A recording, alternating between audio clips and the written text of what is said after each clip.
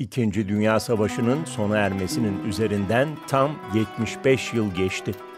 6 yıl boyunca süren savaş, tarihin en büyük felaketlerinden biri olarak insanlığın hafızasında. Nazilerin kanlı serüveninde yaklaşık 6 milyon Yahudi katledildi. 42'nin sonundan itibaren 1943-1944 ta ki savaşın sonuna kadar 1945 yılına kadar e, sistematik bir şekilde bu katliamlar devam etti. Avrupa'da görev yapan Türk diplomatların bu konuyla ilgili olarak devreye girmeleri ve önemli sonuçlar elde etmelerine karşılık gelen dönem 1943 ile 1944 yıllarına denk gelir. Nazilerin tarihin en büyük soykırımını yaptığı yıllarda Türk pasaportu pek çok Yahudiye can simidi oldu. Savaş yıllarında sorumluluk alarak yüzlerce Yahudiyi ölümden kurtaran Türk diplomatların hikayeleri Türk Pasaportu adlı belgesel filmle gün yüzüne çıktı. Donc pour moi maintenant ce sont des souvenirs comme un roman.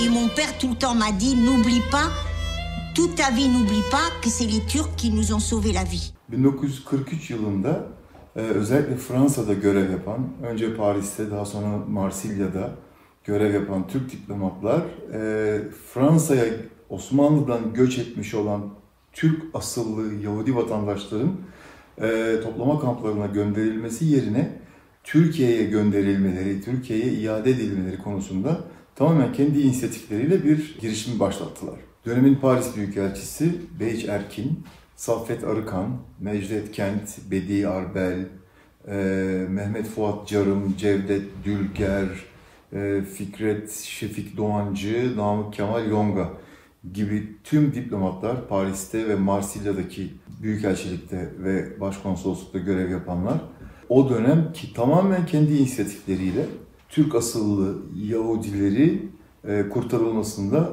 müthiş bir rol üstlenmişlerdir. İkinci Dünya Savaşı'nın en kanlı dönemi olan 1943 ve 44'lerde yüz binlerce Yahudi Avrupa'nın her noktasından trenlerle toplama kamplarına gönderildi.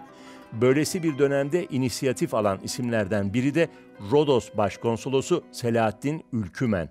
Ülkümen, ölüm kamplarına gönderilmek üzere olan 80'e yakın Yahudi'yi kurtardı.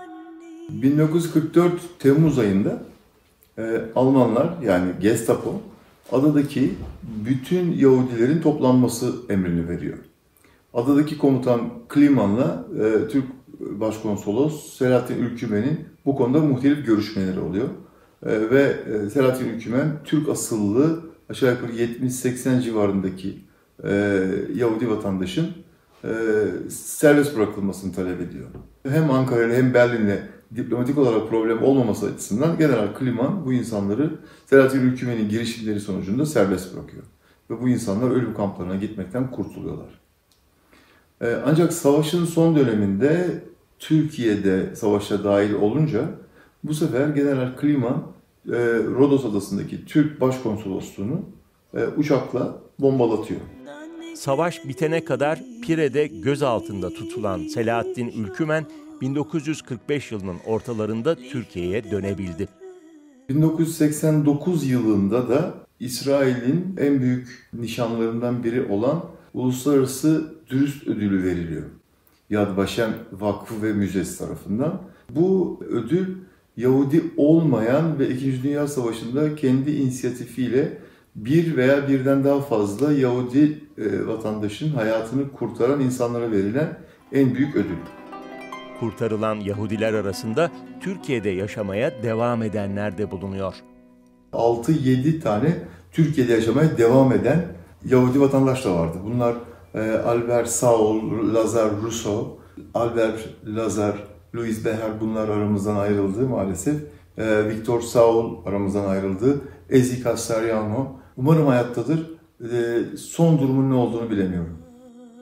Canlandırma yöntemiyle yapılan ve Cannes Film Festivali'nde Turkish Passport adıyla gösterilen belgeselde kurtarılan ailelerden edinilen belgeler önemli bir yer tutuyor aşağı yukarı 2-2,5 yıl süren bu e, araştırma ve röportajlar sürecinde e, birbirini tetikleyen bir e, süreç yaşandı aslında. E, bizim ulaştığımız insanlar bize ikna olarak bir başka kurtarılan aileye gittiler, bize yönlendirdiler.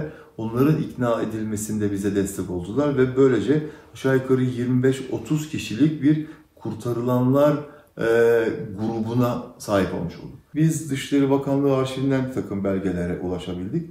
Ama asıl kurtarılanlarla yaptığımız görüşmelerde elde ettiğimiz belgeler çok önem taşıyordu. Çünkü e, tren yolcularının listesine kadar ulaşabilme imkanımız oldu. Şahsi e, ailevi belgeler, dokümanlar, diplomalar, e, özel belgeler, e, günceler, tavan aralarındaki sandıklardan e, ve benzeri yerlerden çıktı geldi. Ve dolayısıyla kitapta e, bütün bu belgelerin hepsi ilk kez aslında gün ışığına çıkmış oldu.